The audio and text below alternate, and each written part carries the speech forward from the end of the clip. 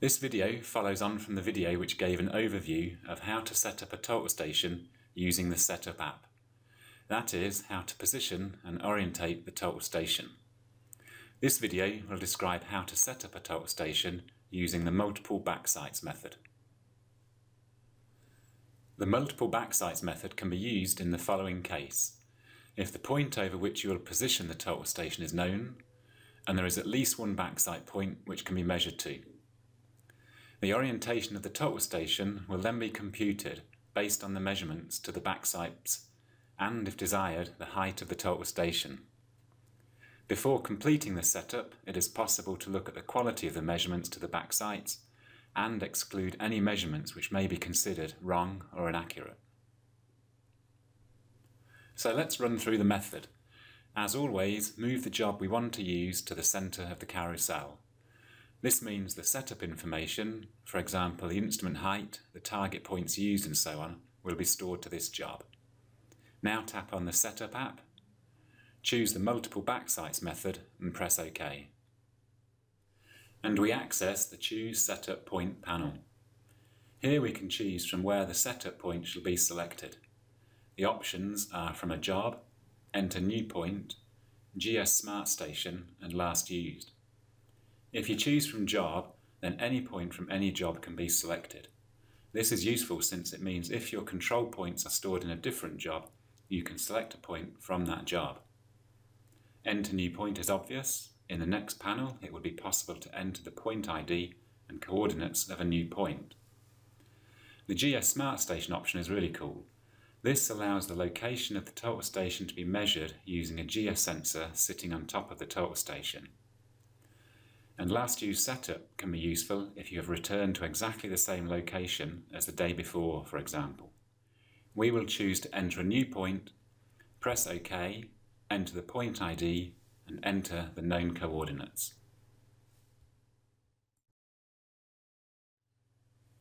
So now we need to measure to the first target point.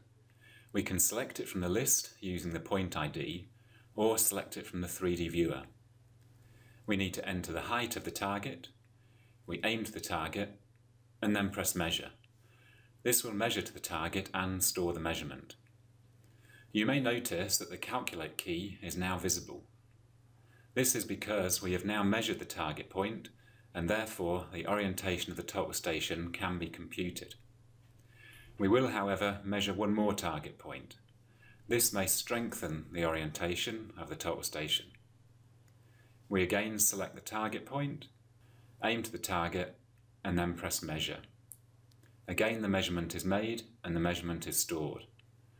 We won't measure a third point but instead compute the setup. That is, calculate the orientation of the total station by pressing calculate. Depending on how accurately the target points were measured and or the correctness of the target points themselves, we may get a message informing about the quality of the orientation. In the Results page tab, we can see the orientation which has been computed. The difference in height shows the difference between the elevation of the total station based on the point over which the total station was set up and the computed height. That is, the height based on the measurements to the target points. We can see the old and the new height and tick the box if we want to use the new height. If we want to measure to more target points, we can press Add Target. On the Setup page tab, the instrument height can be seen and re-entered if it had been forgotten or a mistake made earlier. The setup point can be given a point code if needed. The current ppm is shown as a reminder as to what ppm or scale factor is being used. On the Quality page tab, the quality of the orientation and height can be assessed.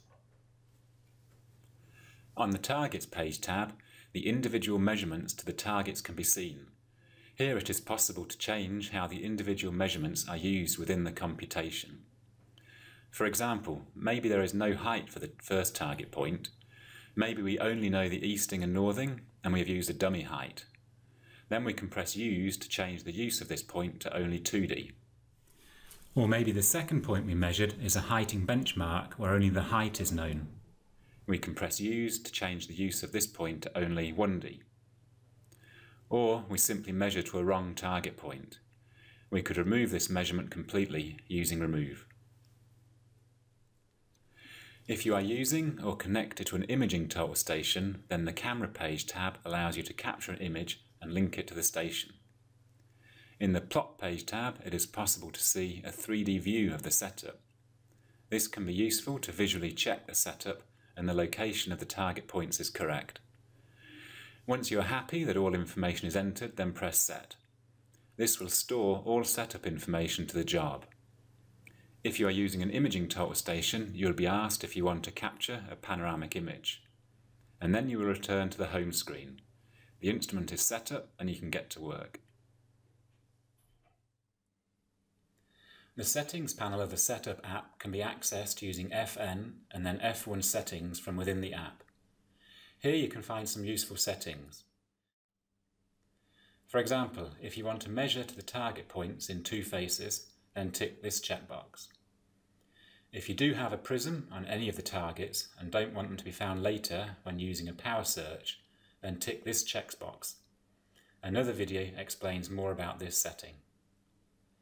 In the Advanced Page tab, there are various settings which can be made.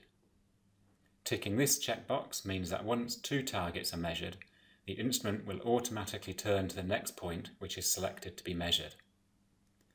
This checkbox allows the setup routine to be exited before it is complete, a so-called on-the-fly setup. This means the surveying of normal topo points can be started before the setup is complete. The setup points can be measured later, and once completed, the whole setup and any measured points will be updated. If this checkbox is ticked, a station scale will be calculated from the target observations. The user will have the option to apply this new scale to all subsequent measurements, including the setup observations from that setup. If not ticked, the calculated scale will not be displayed and not apply to any subsequent measurements. This checkbox means the Helmert method will be used to calculate the result. Here, the default limits can be changed. If these limits are exceeded, then a message is shown when the location and orientation of the station is computed. When using the Setup app on the CS Field Controller, the F4 GS key is extremely useful if you're using a smart pole. That is, you're using a GS sensor mounted on the prism on the pole. This key then allows a point to be measured with the GS sensor, which can then immediately be used to orientate the total station. This is really useful if there are no known targets in the area. You can establish new targets using the GS sensor where it is most useful. In summary, the multiple backsights method is the method to use when you know the point over which you will position the total station and you have one or more target points to which you know the coordinates. Based on these measurements, the orientation and if desired, the height of the total station can be computed. Please do watch the other videos to learn more about the individual methods, and thanks for watching.